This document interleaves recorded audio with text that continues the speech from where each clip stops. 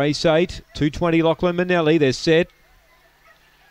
Racing now. Alpha Rayon got squeezed early. Lachlan Manelli actually began pretty well tonight. He's going to fire through and find the lead, the favourite. Lachlan Manelli swings to the back, a length in front. Bumping though. Hurricanes bumping with him and they're coming together. Three wide Aston Abbott's on the scene. Railing half a mil. Uh, all about Corey as now Aston Abbott puts them away mid race. Banquet behind those. Alpha Rayon towards the rear with Mr. RJ. But Aston Abbott, he saw the opportunity and he seized upon it. Raced away to win by five. Banquet gets up for second in a rough race.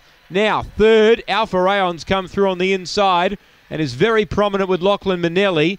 Uh, Hurricane in that group as well. Uh, Mr. RJ behind those. Banquet uh, was in front of a few. And half a mil was back at the rear. It'll be five, seven, and a photo between one and three.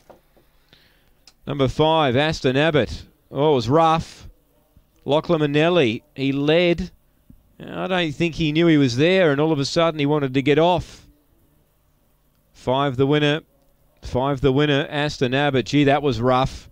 Lachlan Manelli drove through and led. We haven't seen him do that for a while, and he wanted to get off. As soon as he got to the back straight, he didn't want to be down on that rail. He wanted to get off, and that caused all sorts of trouble.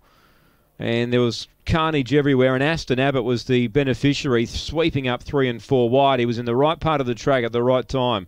He's very strong, Aston Abbott, and he pulled clear. Banquet's got home into second.